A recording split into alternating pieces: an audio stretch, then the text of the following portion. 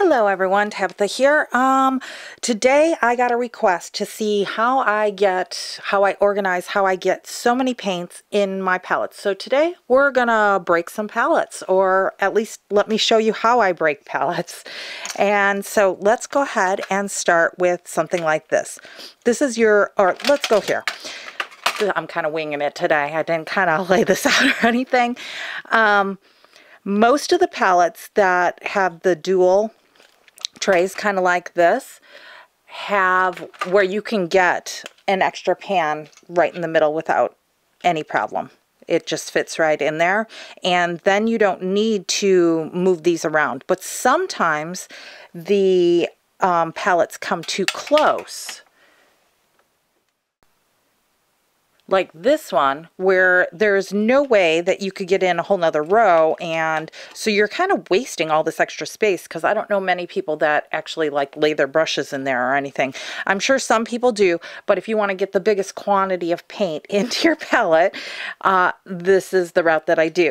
So what I do is I pull out this tray and I go ahead and I take the screwdriver flathead I'm unprepared. And I go ahead and I actually shove it underneath here and I wad and you can see it popping already.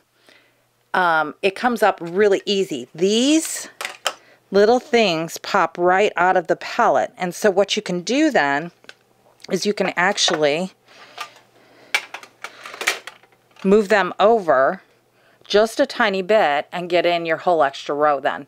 And how I secure that extra row is I use either this mounting putty underneath the strip so I adhese it to like all these little pegs. Now it does sit up kind of a little bit higher, but when you put the magnets on the middle row, it tends to completely like even it off. Um, this is sticky and it is um, removable. So you can actually pull this up with no damage to any place else. Um, or I have used regular Gorilla Glue to also put them in. Now on the on the pellets like this, where they're kind of the lumpy, I just take the screwdriver and I actually pull out all of the interior, those little flaps that separate the half pans, because otherwise you'd only get two rows in here. And you can actually get four rows into one of these palettes. So I rip out all the interior and I don't know if you can see on the back. Sometimes it you can see kind of like the little dimples of where they were attached. So you'll have a little bit of that on the back of the palette where they were attached. Um, there's like a whole sheet of metal and even here but those pop out in about the same way. So you'll be able to put four rows in one of these type of palettes. Now, um, let's go to the bigger palettes and I do them slightly different. So this one is uh, with the two rows that I've gone ahead and I've moved it over and you can see that there is just a hint of a lip between the height of those little dots from me replacing this bar to where the magnets are holding it. So, but it's so slight that it doesn't even affect how you use it. So that's leaving in the, the four rows and then putting in the middle row. All I did was remove this bar and this bar out a little bit and it gave me enough space. Sometimes I've had to remove all four and bring out both sides in order to get that middle row. And sometimes pellets have that middle row available right off the bat. And then on some of my larger pellets, um, I noticed that if I just left this row and left this row and removed with the um, screwdriver these two of these entirely and just lifted them out on this tray you can actually see let me show you that uh, there is no there is no holder on that. I just go ahead and put the magnets on all three of the interior rows and it still holds everything on the tray and they don't move anywhere or anything like that and you can block them in perfectly into the row. So that is how I get the most out of my palettes because doesn't it always seem like you've got a couple extra paints compared to like the amount of paints that you have. But then let's say you have a palette that's beautifully filled like this and you're like oh but there's that one other color that I want then what I do is I yank out uh, a, where I would put it in the palette and they sell these type of pans on Etsy and they they um so you can get like two colors in the space of one so when I've had that happen um, and expanded my palette, but I didn't want to like go up in size in a palette and have a whole bunch of empty space because my area is really, really small. So space is a concern. So I need to get as much as I can into the smallest spot possible. So I came across these and I really um, enjoyed having these to alter all sorts of my palettes. But then I had another problem. Let me see if I can find where I had the other problem. I know I have it somewhere through I got so many paints. And I have paints that I just poured and I'm drying and all sorts of stuff. Nope, not that one. Hold on one more second. Ah, yeah. Okay, so I just did these because uh, I wanted to add two Da Vinci colors into my palette. But the Da Vinci I had bought uh, originally a set, so they have their pans. So sometimes it's a little more difficult to get all their pans in here. And sometimes, you know, you get that extra pan, but you can't really take out the pans that like they manufactured because you don't have the tubes. So my son, on his 3D printing, he's brilliant. Um, I wanted to get these two extra colors in here and had a little bit of space with jogging the paints over. So these actually are little pans that are just as tall, but they're half of the size of a standard pan. So at the end of every row, if I wanted to add a color without actually changing the palette, and then what I do is then I don't even redo the card. I just simply um, make another little swatch and tape it right over the spot where I put them and then it's all set to go and I don't have to change the whole palette out, redo the whole swatch card and all that kind of stuff. I just kind of popped it in there. We'll see how much I use it and if I want to expand or change the whole palette later then I can do that. So like I said, I had a request on how to make these palettes fit as many. Oh, you know what? We should, these fit 21 when you when you do all three rows. If you take this out and you use the bottom and use like magnets or sticky, um, the mounting putty to kind of even off the bottom and make them all level, uh, it will fit about 23 pans. Um, so let's go ahead and grab out these other palettes and I'll tell you how much they hold. So a palette like this holds 39 paints when you, so normally they come with 12. So if you add the extra one to make it tight at both sides and then you add the extra row, you can get 39 paints in a standard palette.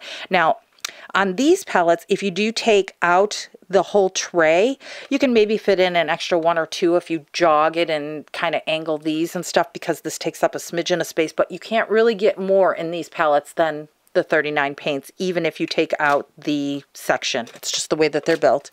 Um, the section, you know, being removed like that. Sorry, my palettes are a little dirty. Um, and then, like I said, some pans are different sizes, so I have those little half ones to alter. And then in this, let's see, how many paints do we have? One, two, three, four, five. So there's 13 again. So that's what, 39, 49, 50, 51, 52 paints in one of these type of palettes. So that's quite a bit, 52 paints. And then if you use the little halfers into the half space, um, half pan space. Now I'm going by half pans because of course full pans take up double the space or almost double the space um, you can always get in a few more colors. Um, these pans, it does make them kind of small, but you know, as a as a good solution to it.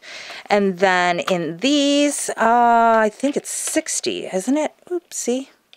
Every so often the magnet will loosen up. Uh, yeah, 13 in each row. you know, um, what is that? Yeah, about 60 paints you can get into one of these large ones. Let me double check that. Yeah, it is 61 paints that you can get in here um, with 13 across with leaving the tray in. Now, on a palette like this, if you do take this tray out, you can get in a few more paints as well, probably about four or five more. If you jog them on the side, turning these to the side, you can get in an extra couple to take up this little bit of extra space that this palette has, but you can't get in too many more. So, that is how, oh, and there's one other palette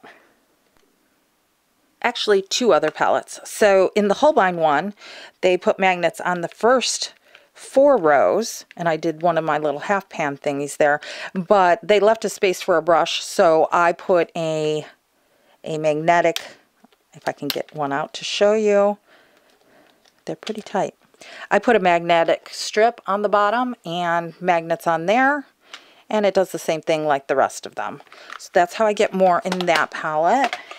And then my thing is, is once the palette's full, I can't buy anymore. so that's why these are all really, really packed. I know it's sad, but don't we all do it kind of a little bit? And instead of going up in palette size, this is how much room I have, so I have to max out. And this is the Roman Szmal. So this is their, let me back out just a little bit. This is their, um, their palette, their wooden palette. And what I did is I took the screwdriver and I dug out from all the glue and removed all that and their top mixing space. And I put colors in both sides. It works out perfectly with all the rows being horizontal and then the last row being vertical on both of them. And you can fit in, I think this is 106 colors total that you can fit in this palette of full pans. So you'd get probably about double that in the half pans. And what I did is just to make it really tight, I used sticky tack on the bottom of all these. The bottom was a little lumpy bumpy from the leftover glue, so I used sticky tack and it kind of evened them all out. They're really nice and tight. And then I put in a couple popsicle sticks just to block it in really, really tight. And then my swatch card can sit right in the middle between the two sides. Nothing sticks, nothing drips, and it works out perfectly and closes right up. And then I have everything in a really nice tight little package. And I don't know if you can see off to the, oops, sorry.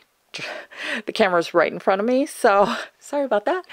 Um, I don't know if you can see off to the side, but I have some new stone grounds, some new deep, deep light, and I have, let me see if I can it.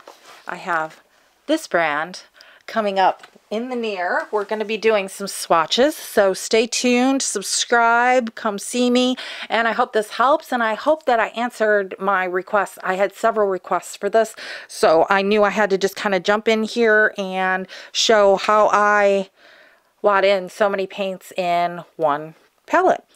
Thank you so much for joining me. I'll see you in the next one. Bye-bye.